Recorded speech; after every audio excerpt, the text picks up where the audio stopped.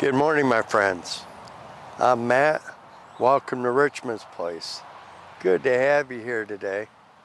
Um, today, we're going to have an instructional video on how to install a um, drip irrigation system in your garden. You're going to find that this is going to make everything so much easier. You're going to be able to just turn a knob on and boom, your whole garden's being watered, which is the case that we have here. Uh, we've learned a little bit over the last couple years. Uh, this is year two with it. I buried some line this year so I can go over it and not uh, run the line over. But I'll talk more about that in depth here and why that's important. Today we're here, uh, you know, uh, today we're here to talk about how to install an irrigation system. Um, you're going to have several components to this. One is the main line, this stuff here. Then you're going to have the um, runs or the drip irrigation. Uh, this is what's going to go over around your plants. You're going to get some valves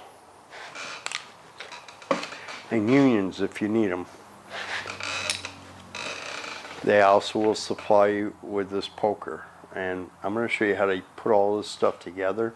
The only thing that you will probably want to use um, as far as tools goes is a pair of cutters. That's it.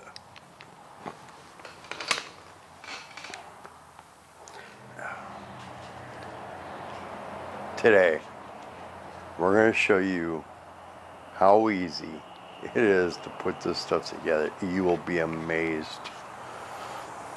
You'd be like, I should have done this years ago. Our first year here, our garden was about the same size as we have now. And uh, our acre, or our garden is approximately uh, acre and a half. And uh, that's a lot of work to water. We did it the first year with hose and sprinklers, did a lot of it by hand, hauling the hose around and spraying the plants and everything down, you know, a couple times a day. And dragging hose around up and down the aisles in an acre and a half was just, it was insane. It's something um, I don't think we ever want to revisit again.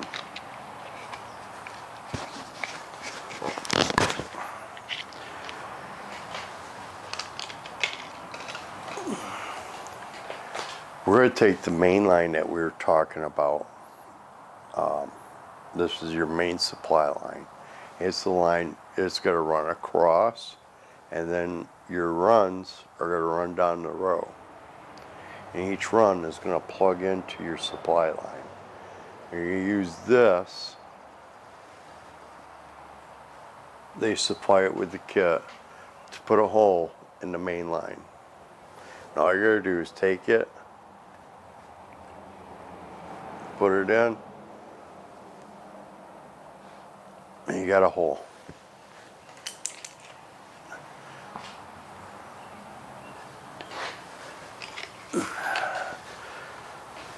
Now, you're going to take your run, this is your, your drip irrigation, and you're going to slide it onto the barb. You're going to make sure that nut's all the way back.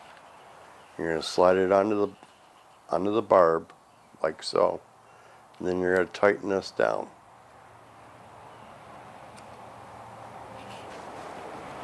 And it tightens right over the top of this and creates a nice seal. Then you're going to take this, you're going to plug it into here with some force. There you go. And it pops right in. This valve, you can turn your rows on, turn the row on, or shut, or shut it off, or turn it on. You can leave it on. Not hurting that either. Then on the back side at the end of the row, you're gonna you gotta close this off. They send you an item, it's a tool um, with the kit, these here. They don't do so well. They want you to fold this over and then stick this in there.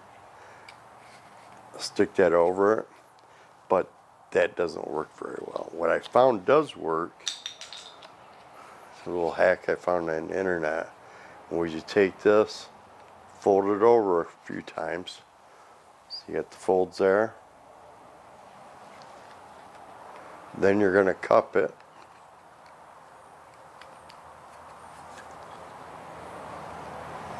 Like this here. Gonna cuff a, a, a short piece of your drip irrigation line. You're gonna slide that in there over it. And you've created your seal. So nothing will come out that end now. This stuff is, it's amazing. It is so easy. We go out there and a quarter turn, we have turned on the main garden, a quarter turn on another valve, and we've turned on the back garden, turn on another quarter valve, and we are uh, uh, we're watering our flowers and whatever else we got on this side. Hey, you guys all noticed the garlic haul behind me? It's drying out now. Uh, Rebecca and Jax did a video on the uh, uh, garlic harvest and it was great. We had we got plenty of garlic. We planted like 840 bulbs or uh, 840 cloves and out of it we've got roughly 760 uh, um, bulbs of garlic. So uh, all that's drying out right now. So here in a few weeks we'll have garlic, lots of it. Some of it we're going to use to reseed for next year. Some of it we're going to use for home, and then some of it we're going to sell.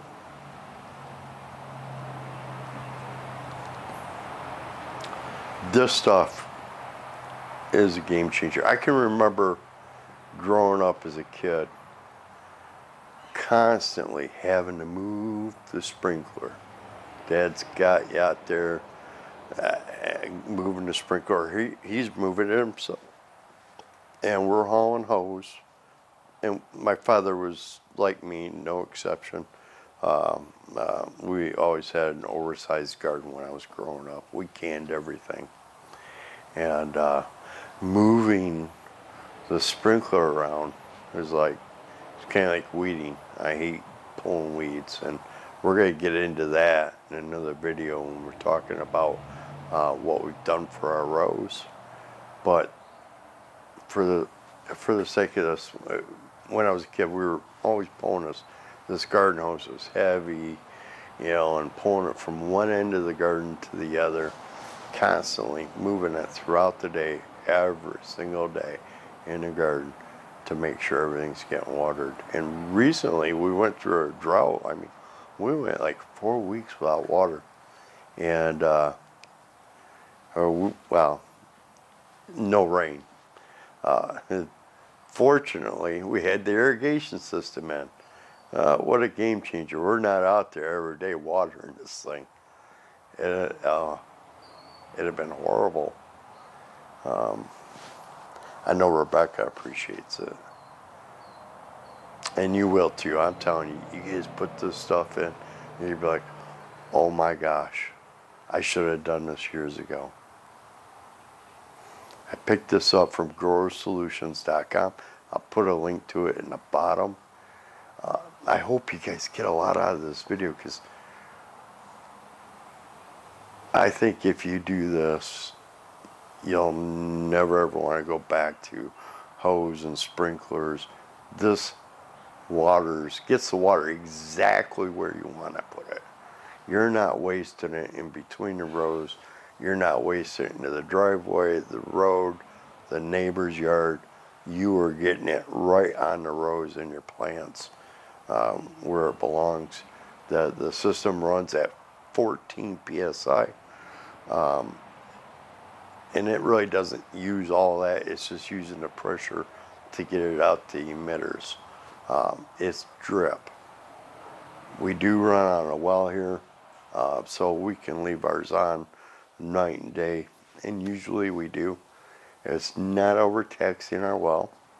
Um, it just, we're letting a little bit of water out at a time where the water needs to go, and we're not wasting it in other areas. I can't tell you what this is going to save on your well, on your uh, if you're on city water, um, what it would save on your on your bill. I mean, this is the way to go. There's no reason to. I mean, you honestly, you can get this drip, you can get drip irrigation anywhere. I chose Grower Solution because I get good quality from them. I don't like their shipping charges, but